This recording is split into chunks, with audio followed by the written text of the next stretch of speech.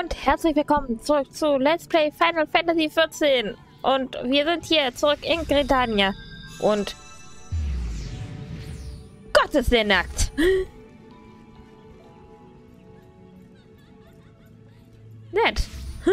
Wirklich nett. Die ist hübsch. Äh, gut, hier sind viele hübsche Charaktere. Das ist... Wow. Okay. Geil. Ja. Gott, warum ist hier eigentlich gerade so richtig geiler Sonnenuntergang, ey? Voll cool. Ähm, so, wir wollen die Quest abgeben. Bin gerade immer noch am überlegen. Wie viel gibt es eigentlich für die Quest? Beziehungsweise, warte mal, ich muss einmal ganz kurz gucken, ob wir danach noch irgendwie eine 16er Quest haben oder ob es dann direkt in die ähm, 17er reingeht, weil ansonsten müsste ich halt mal gucken, dass ich den Schurken dann nehme. Ähm, Ruf der Toten.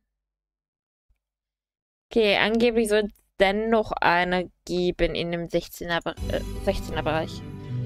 Bin gespannt. Ähm, wie viel kriegen wir denn dafür? 14.000. Okay. Wir riskieren es einfach. Ah, da bist du ja wieder. Den Göttern sei Dank. Ich hatte mir schon Sorgen um dich gemacht. Baron hat dich zwar in den höchsten Türen gelobt, aber man, weiß ja nie. Oh ja.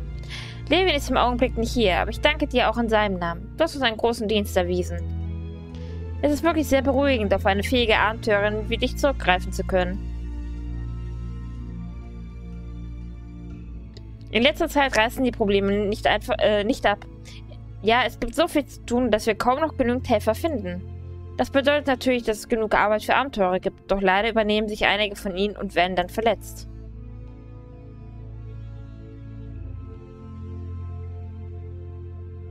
Aber er ist tot, ist deine Schuld. Wenn du nicht ewig gebraucht hättest, um ihn zu heilen, hätte er überlebt. Aber es ist doch außer Reichweite. Er, ist doch außer Reichweite gelaufen, bevor ich den Zauber wirken konnte. Alles ging so schnell. Er war von Anfang an nur zu ungeduldig. Ich stets auf der Jagd nach Ruhm. Mir reicht's. Ich habe die Schnauze gestrichen voll. Ihr könnt ohne mich weitermachen. Ich hoffe, dass ihr, ich euren Namen nie wieder sehen muss. Ha, dann hau doch ab. Ich konnte dich sowieso noch nie leihen. Du warst doch die ganze Zeit nur Avas Schoßhündchen. Ach ja, noch einen gut gemeinten Rat zum Abschied. Sieh zu, dass du Avas Kopf so schnell wie möglich beerdigst. Egal, wie sehr du ihn gemocht hast. Sein Haupt mit dir herumzuschleppen ist einfach abartig. Ihr, wartet, ihr könnt mich doch nie alleine lassen. Hallo! Es tut mir so leid, aber verzeih mir. Verdammt, solche Dramen haben sich in den letzten Tagen und Wochen hier viel zu oft abgespielt. Es bricht mir jedes Mal das Herz, etwas mit anzusehen. Du kannst dir denken, wie froh ich über jemanden bin wie dich, auf die man sich verlassen kann. Dich kann ich auf je, äh, auch auf schwierige Einsätze schicken, ohne mich schuldig fühlen zu müssen.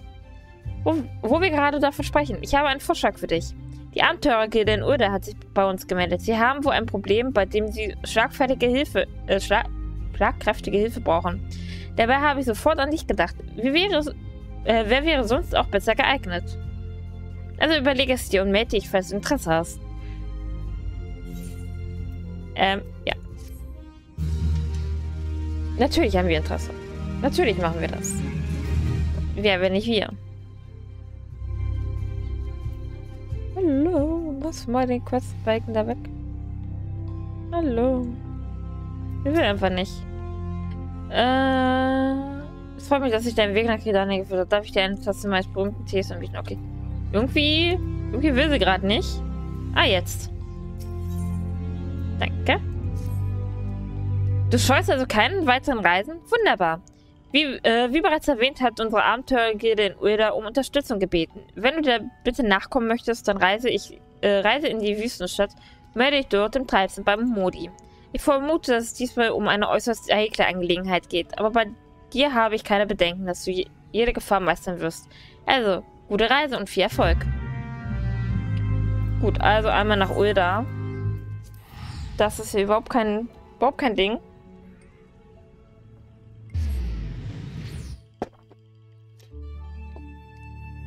Mm.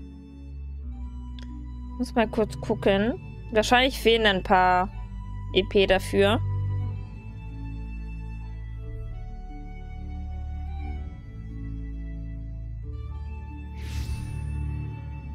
Äh, ja, knapp 5000 dürften fehlen. Ne, 4000. Ich glaube 4000 sind es, die fehlen. Huch. 4000 EP. Wobei wäre vielleicht gar nicht so verkehrt. Warte mal. Notizbücher. äh, drei Dungeons als Zufallsinhalt abschließen müssen wir auf jeden Fall noch. Fünf Dungeons abschließen. Gildengeheiße abschließen. Okay, wenn wir noch als wertvollsten Spieler ehren, dann würde es äh, hinhauen. Mal gucken, was als nächstes dran ist. Wenn Monsterkill dran ist, dann ist gut.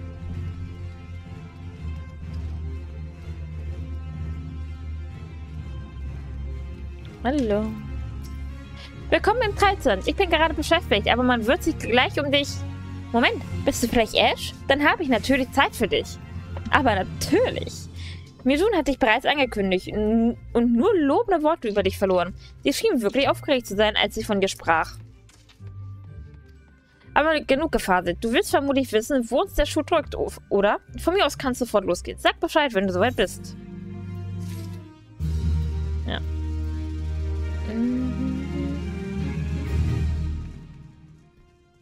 Sehr schön. Äh, so. 17, äh, äh, okay. Wie gesagt, 5000 fehlen halt. Langsam sollte er aber kommen. Puh, diese Hitze bringt mich noch um. Ich glaube, ich brauche erstmal einen kräftigen Schluck von Modis Besten. Ah, Papa Shan, die Abenteurerin, die deinen Auftrag übernehmen will, ist gerade hier. Oh, du bist also die mutige Heldin, über die man in, äh, über die man in letzter Zeit so viel Geschichten hört? Ähm, jo. Es freut mich überaus, deine Bekanntschaft zu machen. Ich bin Papa Shan, ein ehemaliger Gardist der Palastwache. Danke, dass du uns helfen willst. Genug der Förmlichkeiten. Nun erklär doch schon, worum es geht. Ja, aber natürlich. Nichts lieber als das. Es geht um ein Anliegen, das ein Bekannter der Amejar Bergbau AG an mich herangetragen hat. Ein höchst gefährliches Unterfangen. Aus der äh, Tiefe der Kupferglockenmine sind unerwartet, äh, unerwartet Riesen aufgetaucht, die unter den Bergarbeitern ein ziemliches Blutbad angerichtet haben. Genauer gesagt handelt es sich bei den Riesen um Hekat Tuncha, was? Ähm, ja, wahrlich fürchterliche Kreaturen, die von la vor langer Zeit während der Thorn-Dynastie in, in der Mine eingesperrt wurden. Nun ist es ihnen irgendwie gelungen, die Steinplatten, die sie gefangen hielten, zu durchbrechen. Womöglich haben die Minenarbeiter auch so tief gegraben. Auf jeden Fall sind die herasen vor Wut über ihre lange Gefangenschaft. Die Thorn-Dynastie, wir reden also über Ereignisse, die vor über 300 Jahren geschehen sind, nicht wahr? Das ist korrekt, meine Liebe. Damals wurde die Ekatoncha, wie auch immer, mit magischen Helmen kontrolliert und die als Arbeiter in den Minen eingesetzt. Doch wie sollte es anders sein? Irgendwann versagte der Zauber und die Riesen erhoben sich gegen ihre Herren. Natürlich. In einem verzweifelten Versuch, die Viecher aufzuhalten, brachten die Uldaner den unteren Teil der Mine zum Einsturz. So wurde der Aufstand der Riesen unter einer gewaltigen Fel Felsmasse begraben. Das erinnert mich an einen Artikel im, Mitri im Mitriboden. Darin stand, dass die Amajar Bergbau AG die Mine wieder in Betrieb genommen hat, um nach Rohstoffen zu schürfen, die für den Wiederaufbau dringend benötigt werden. Vielleicht haben sie dabei zu tief gegraben und aus Versehen die Viecher befreit. Unglaublich, dass diese Riesen nach so vielen Jahren noch leben. Vielleicht ist, äh, hat ihr Zorn sie ernährt und nun setzen sie ihren Aufstand ungebrochen, äh, ungebrochenem Hass fort. Ja, wahrscheinlich. Die Riesen gefährden unsere Arbeit in der Mine. Solange wir sie nicht bändigen, können wir uns die wichtigen Rohstoffe abschminken. Deshalb möchten wir dich bitten, ihren Aufstand, wir, äh, Aufstand niederzuschlagen. Ich gebe zu, dass, sich, äh, dass es sich dabei um keine ungefährliche Aufgabe handelt. Aber du würdest uns einen großen Dienst erweisen, den wir selbstverständlich entsprechend belohnen werden. Wirklich Dankeschön. Damit leistest du einen unschätzbaren Beitrag zum Wiederaufbau Uldas. Weißt du, wohin du gehen musst? Der Eingang der Kupferglockenmine liegt im westlichen Tanalan. Pass gut auf dich auf. Bevor du aufbrichst, solltest du noch ein paar Informationen einholen. Hier im Treibsand ist gerade ein Angestellter Amateur Bergbau AG, der viel über die Mine weiß. Martha Berg ist sein Name. Hey. Ja. Und genau die Indie mag ich nicht. Hallo, bemalter Berg. Suchst du nach bemalter Berg? Du hast ihn gefunden. Ich habe vorhin mitgehört. Äh, du bist also die Abenteurerin, die in der Kupferglockenmine für Ruhe sorgen will? Du hast ganz schön, äh, ganz schön Mut. Hoffentlich bist du ebenso geschickt im Kampf, sonst wirst du unter Tage nicht lange überleben. Die Riesen haben da un unten ganz schön gewütet. Und es gibt keine Anzeichen dafür, dass ihre Wut ver verpufft sein könnte. Mit den Rohstoffen aus der Mine könnten wir den Wiederaufbau nach der Katastrophe voranbringen. Aber nicht solange die Riesen alles kurz und klein schlagen, was ihnen vor die Füße läuft. Wir kannten die Geschichte über die aufmüpfigen Riesen, aber niemand hätte gedacht, dass sie noch leben. Immerhin waren sie, äh, waren sie drei Jahrhunderte lang lebendig begraben. Also gingen wir beherzt ins Werk und schürften eifrig nach neuen Rohstoffen, wobei wir immer tiefer gruben. So tief, wie wir jetzt wissen. Denn als wir die, äh, eine dicke Gesteinsschicht durchbrachen, stürmten aus der Dunkelheit dahinter die Riesen hervor. Die Amateur Bergbau AG hat die Mine vorsorglich durch ihre Ei Eisenscheinsoldaten abregeln lassen. Melde dich bei, äh, bei, der Wache am Eingang zur Mine. Wenn du äh, hineingelassen werden möchtest, viel Glück. Okay.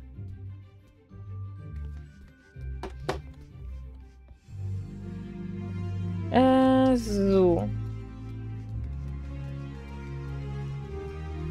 Ja, dann müssen wir noch einmal zusehen, dass wir da irgendwie reinkommen. Ähm, ich werde mich einmal für einen Gliedengeheiz anmelden.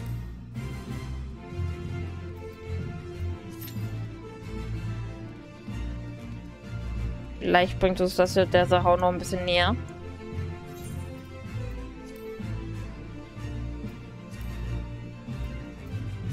Und dann haben wir ja hier noch was. Das sollte an sich ja eigentlich auch helfen. Also das, da kann ich ja mal den kostenlosen Teleport nehmen.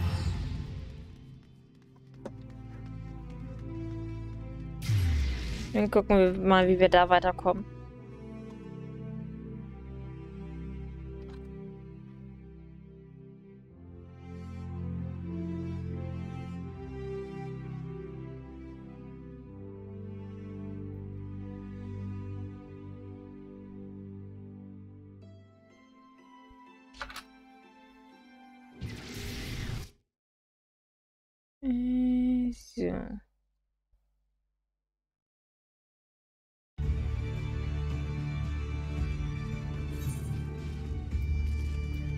Obere Decks.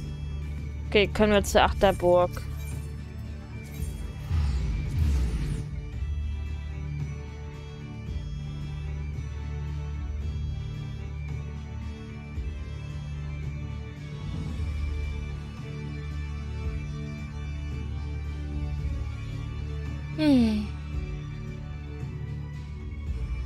Jetzt sind halt wieder so die Probleme, um auf das eigentliche Level zu kommen. Wie gesagt, beim Schurken würde ich das halt auch gerne noch machen. Weil der Schurke ist, glaube ich, näher dran. Ah, nee, nehmen sich nicht viel.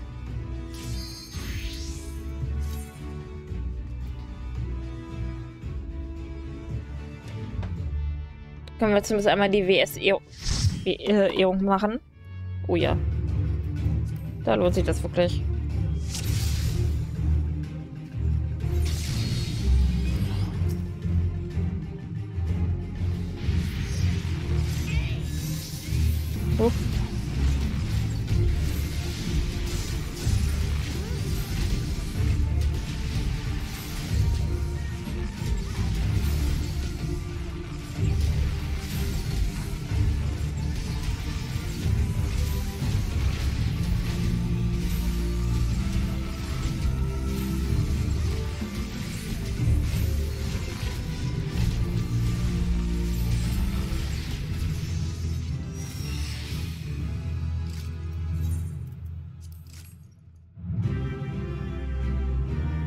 Das mit dem jetzt gerade geklappt noch?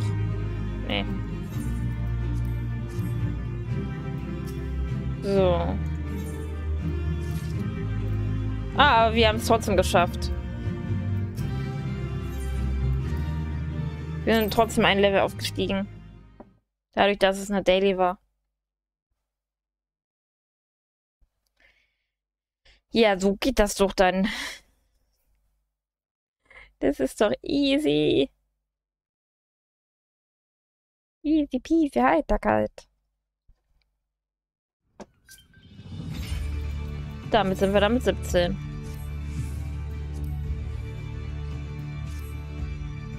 So, und dasselbe machen wir einmal für den Schurken nochmal.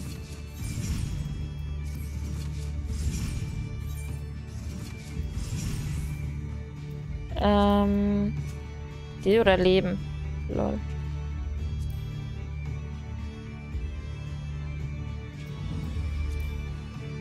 Äh, komm, melden wir uns dafür einmal an. Gibt es auch noch einen Bonus, weil wir den heute noch nicht gemacht haben. Kann natürlich auch sein, dass wir schneller mit dem Auftrag fertig sind, als wir reinkommen. Ängstigte Dame. Finde, dieser Mann ist verwirrt und will mich in Stücke schneiden. Es ist der Messerstecher. So hilft mir doch jemand. Dabei war ich hier nur mit einem berühmten Kosmetiker verabredet. Ein wahrer Meister der Mondän... Äh, den soll er sein. Zwei Jahre habe ich mein Geld gespart und dann nochmal ein Jahr gewartet, um, um, äh, um einen Termin zu bekommen. Weil der Kosmetiker ist immer noch nicht aufgetaucht. Es ist zum Verzweifeln. Stattdessen werde ich von diesem aufdringlichen Kerl bedrängt. Hilf mir. Wollen wir doch mal hören, was der Verrückte zu sagen hat. Wenn du ihn beschuldigst, wer und ahnungslose Frauen zu bedrohen. Na, also sage mal.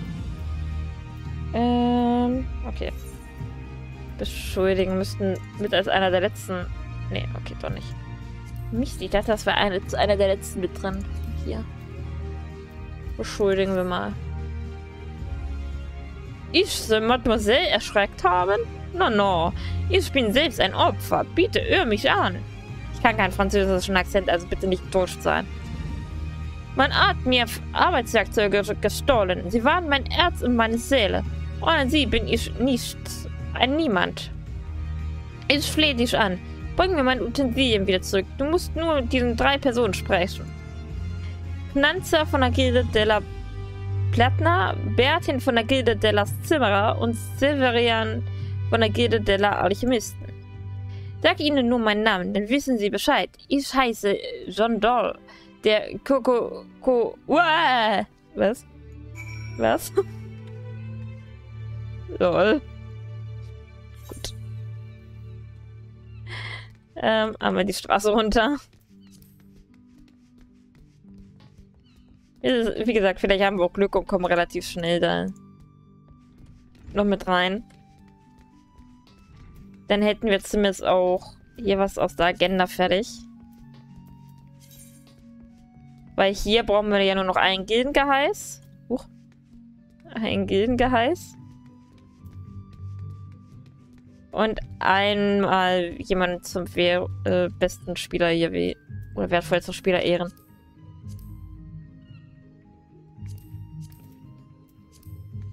Es kommt schon so ein bisschen was zusammen, ne? Du bist John Dans Assistentin. Sag bloß, er hat sie schon wieder verloren und er leidet jetzt wieder einen Nervenzusammenbruch. Das Ding scheint mir wirklich im Herzen zu liegen. Ohne sie finden seine Finger einfach keine Ruhe. Und es darf ja nicht irgendeine sein. Es muss ja ausgerechnet diese sein. Eine Spezialfertigung aus dem Hause Neidig und Firmelli. Nein, dann bringen Sie, mir, äh, bringen Sie ihm lieber sofort. Sonst macht er noch alle und jeden verrückt. Er vergisst noch zu atmen, wenn er sich nicht in seine, äh, wenn er sie nicht in seiner Hand hält. Oh mein Gott, was war das? Und immer zu damit herumschwippen. Oh mein Gott, was ist das? Ach. Lol. Okay. So, wo sind die anderen?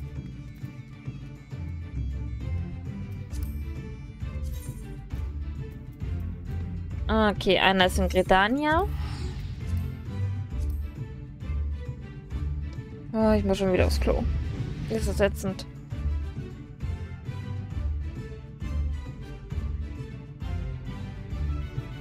Ich bin schon am überlegen, ob ich einfach die, gleich die ganze Zeit auf dem Klo bleibe. Aber ich muss leider aufnehmen.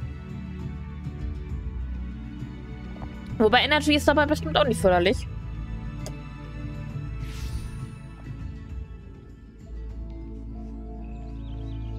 Wir brauchen noch einen Tank und einen Heiler.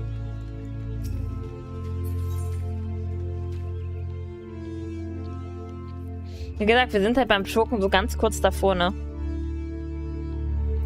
Über Druide und Hermetiker wollen wir keine Gedanken zu machen.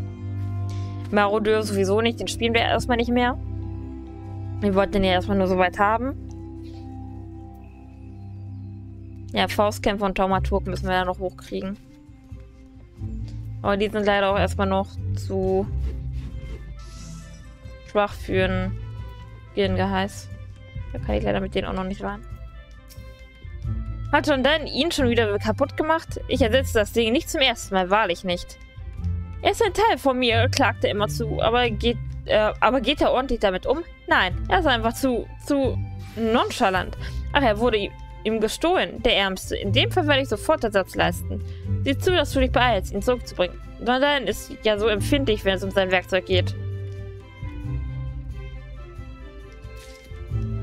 Lass mich raten, der letzte ist in Ulda.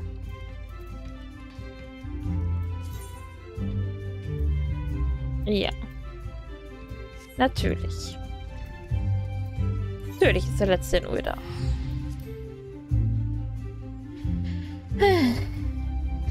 Wir reisen gerne hin und her.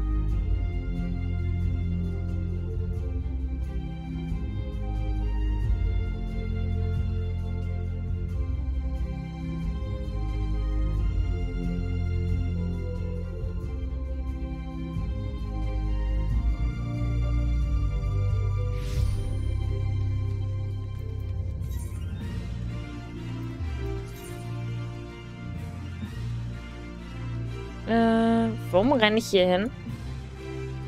Wobei, habe ich die Alchemisten-Guild überhaupt drin?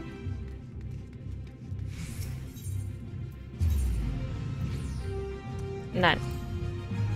Okay, was ist da am nächsten?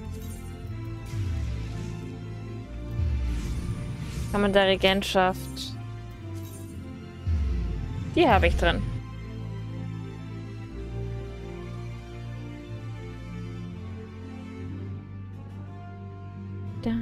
Da da da da da da da da da da da Da,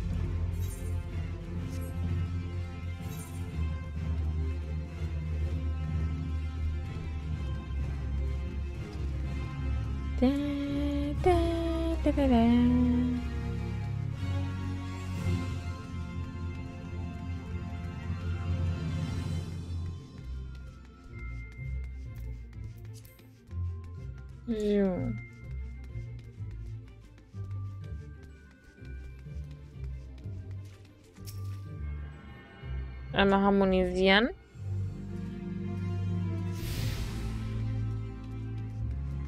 Ah, ne, da muss ich hin.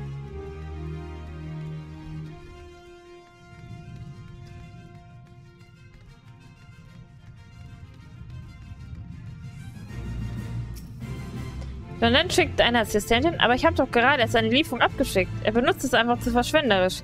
Das habe ich schon immer gesagt, aber das liegt ihm nicht. Es liegt an seinem leidenschaftlichen Temperament. Was?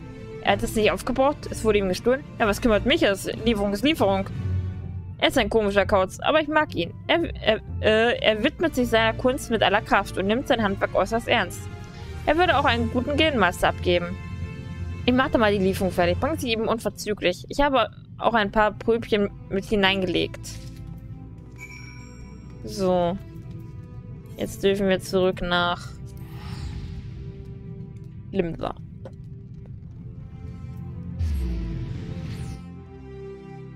Also Gildengehalt brauchen wir nicht.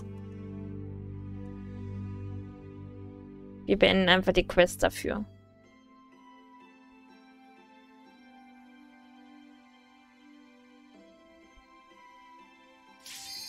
Ah, okay. Das ist, das war so klar, ne? Das war so klar. Naja. Kommen wir, wir kommen halt trotzdem rein, ne? Wir kriegen trotzdem unsere 17. Da, da, da, da.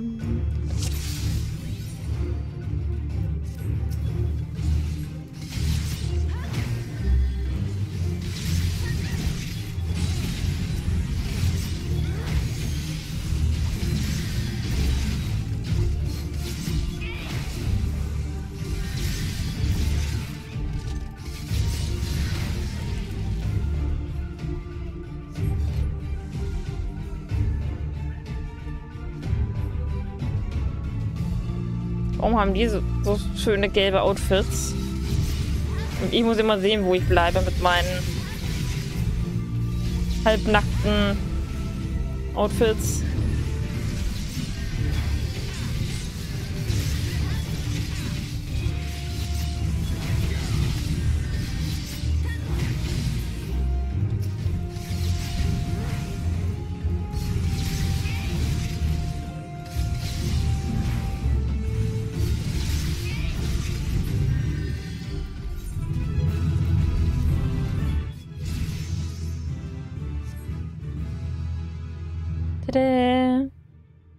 Genau, Erfolg. Sehr schön.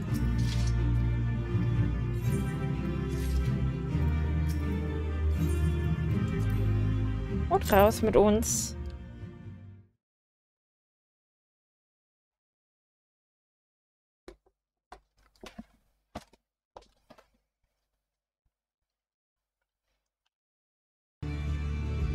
So.